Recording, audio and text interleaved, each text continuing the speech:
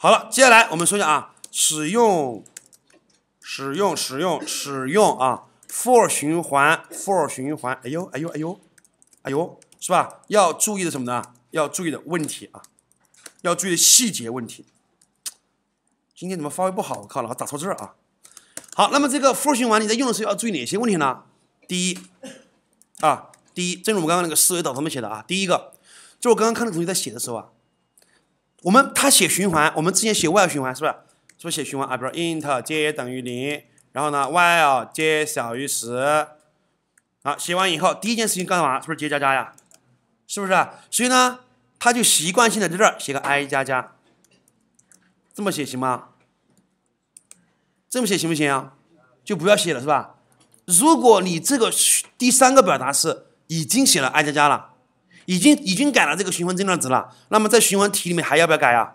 就不要改了啊！你这么一改，i 每次循环加了几回？加两回啊！你这么写的话，my 你这么写啊，每次循环 i 的值就加二，因为加了两次嘛。而如果说你你干嘛？这里只要加一次就可以了吧？对不对？加一次就可以了啊！所以这儿第一个问题，如果在如果在第三个啊，如果在第三个表达式当中已经修改了循环增量值啊，已经修改了循环增量的值，那么就不需要，就不要吧，就不要在循环体当中修改循环增量的值了。这是第一个需要你注意地方啊。第二个注意地方就是什么地方呢？就是我刚刚也犯了个错误，什么错误呢？就是你看这三个表达式。这是这是第一个，这是第二个，这是第三个，第三个后面是没有分号的哟，是不是啊？有人喜欢写个分号哦，是吧？第三个表达式后面是没有分号的啊。第第三个表达式，也就是我们说什么？循环后的操作表达式后面是没有分号的啊，是没有分号的。这句话要一定要一定要注意啊，一定要注意，并且第三啊。这三个表达式的位置基本上是固定的，OK，第一个是初始化条件表达式，第二个是循环条件，第三个才是循环后操作表达式。所以你不要写错了啊！三个表达式的位置固定，三个表达式的表达式的这个位置啊固定，啊固定。第一个是这个这个这个这个初始化表达式，初始化表达式。第二个是循环条件，啊，第三个是循环后的，啊，是循环后的操作表达式，不要写错了，不要把问，你不要你不要先来个 i 加加，这儿再来个 int i 等于零，然后这儿再来个 i 小于等于九十九，这是不行的，不要搞错位置了啊，这是第三个你需要注意地方，然后还有要注意什么地方呢？哎，三个表达式你都可以省略掉，哎。也是，也就什么意思？你看啊，我给你演示一个嘛。我们说 for 循环，for 后面那个小括号里面应该写三个表达式吧？好了，实际上我诉你，这三个表达式你可以省掉。你看啊，for，但记住，表达式可以省，但是分号不能省。里面是有两个分号啊。你看，如果你省这个分号的话，它就报错了。快点报错啊！看报错了吧？对你加两个分号呢，就不会报错。所以啊，没关系，什么意思？马上解释啊。第四一个，好，三个表达式啊，三个表达式，表达式啊，都可以干嘛呢？都可以省略，都可以省略。但是你记住啊，但是你记住啊，但是分号不能省略啊，分号不能省略。OK，我先问一下，这有几个表达式？现在这有几个表达式？现在这有几个表达式？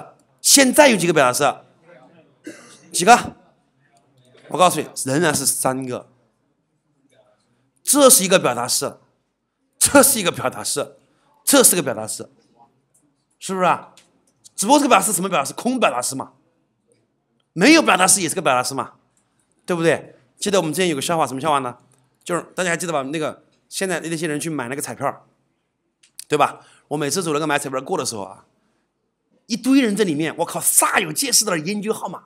他研究那个走走走那个那个走走线的那个那个线啊，那个规律，他的研究啊。我最开始过的时候，我开始我我说靠，他妈这个还有规律啊！是吧？我就我跟说这个还有规律研究的吗？是吧？其实其实那个号彩票号码有没有有没有规律啊？有的，什么规律？没有规律就是个规律，对不对？所以你看这我这没有表达式，其实也是个表达式，叫空表达式，是吧？什么意思啊？所以这所以这就是为什么不能省略分号啊？这就是为什么不能省略分号，因为我前面其实是有个表达式的，只不过是一个什么呢？空的表达式而已。OK，所以要注意啊，三个表达式都可以省略，但是分号不能省略。OK，记住，但有个问题啊，如果我第二个表达式省略了，第二个第二个表达式不应该是一个循环条件啊？那它在执行的时候是怎么执行的呢？默认就是成立的。如果第二个省略啊，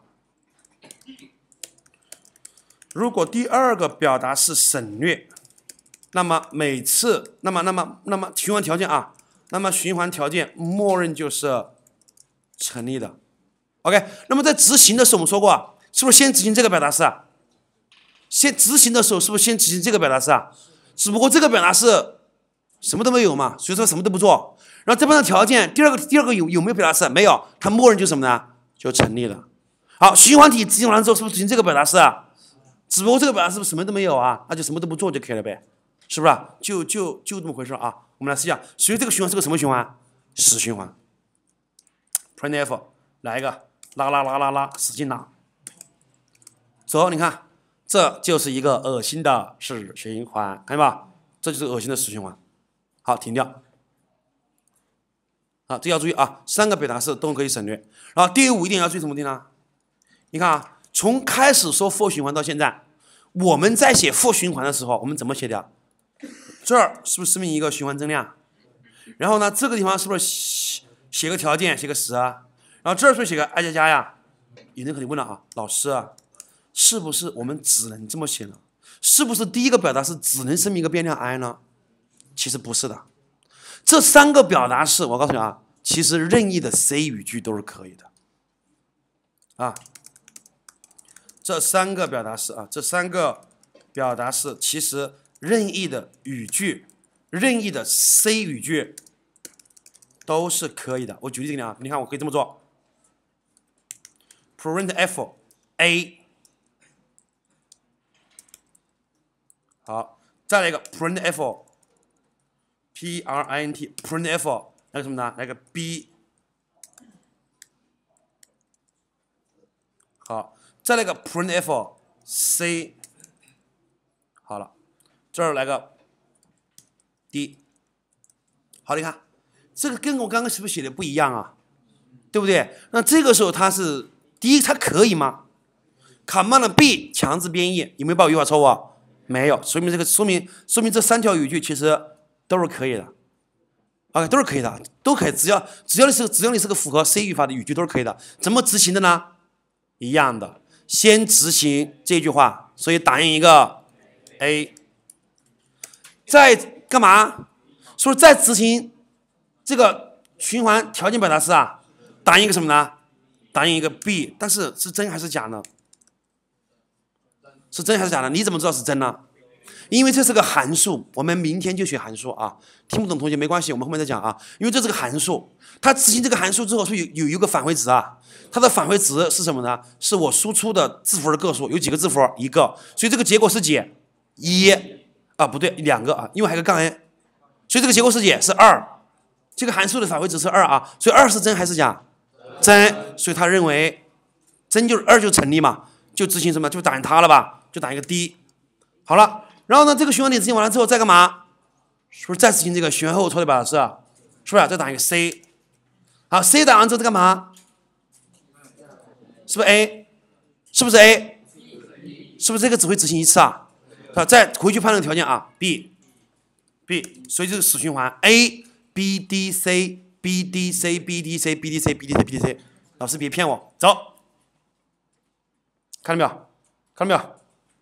能看到是 B D C A 看不到是吧？因为 A 一开始就是 A 嘛，对不对？后面就是 B D C B D C 不断的循环，就这么意思啊。这就是什么呢？这就是咱们这个第五点啊。这三个表达式其实任意语的语句都是可以的。再比如你看，我还可以怎么写呢？我还可以这么写：For int i 等于零，逗号 j 等于零，逗号 k 等于零。好，然后呢，i 小于十。好，每次完了之后怎么做呢？i 加加 j 加加，然后 k 加加，print f，哈哈哈哈哈哈！有人看不懂了吧？好，来个啊，哈哈哈！哎，哈不出来，我靠！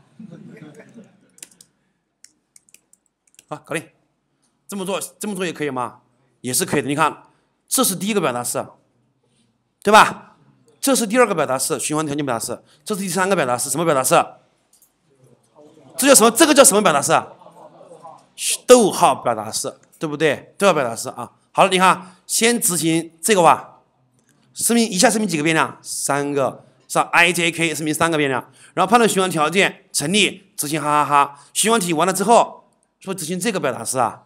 这个表达式跟逗号表达式，i 加加 j 加加 i i j k 的值，然后呢，这个 i 依次的每个的逐个的加一就可以了，就这么意思啊。所以大家注意，但是有个问题要注意哦，能不能这么写呢？for int i 等于零，int j 等于零，int k 等于零，然后呢，i 小于十，i 小于十，然后呢，i 加加 j 加加。，k 加加这么写行不行？这么是不行的。我们说过这只有几个表达式，三个。你这是一句了，两句，三句了。我靠，你这就占三句了。而我们这个整这才是一句吧？对不对？这才是一句啊。然后这是一句，这是不是也是单独的一句啊？所以大家注意啊，这三个表达式任意的语句都是可以的，但是只能是什么呢？三条语句。啊，但是只能是三条语句，啊，只能是三条语句啊，你不能超过三条，超过三条呢，那肯定就会有问题了。像刚们俺们刚刚这个，但有人说老师，那你这个跟上面这个其实一样的了，一不一样？下面这个和上面这个一不一样？不一样。上面这个只有几条语句？三条。你下面有几条？一二三四五六七条。OK，我再解释啊，这是一条批量声明，是不是？这是一条，这是一条，一个逗号表达式。OK，就这么意思啊。还有一些用法，大家要注意啊。比如说，你来看 for inter i 等于零，i 等于十吧。然后呢，i 大于等于零，然后呢，i 减减。哎，老师，等一下，我靠，你怎么 i 减减？我们不是 i 加加吗？我靠，是不是？其实这个地方我们说过，第三个表达式是不是任意都可以啊？并不是说只能 i 加加啊。